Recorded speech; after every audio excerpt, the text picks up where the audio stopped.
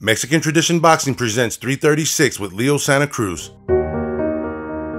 Join us as we take you behind the scenes in the training camp as we follow two time world champion Leo Santa Cruz on his journey as he prepares for the upcoming fight against the underrated Manuel Roman. And I think that at 122, ain't nobody out there that could beat him.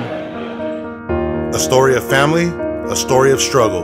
Bueno, pues me siento orgulloso de toda mi familia porque pues, empezamos desde abajo y gracias a Dios ahorita no digo que, que hay mucho, pero ya hay más.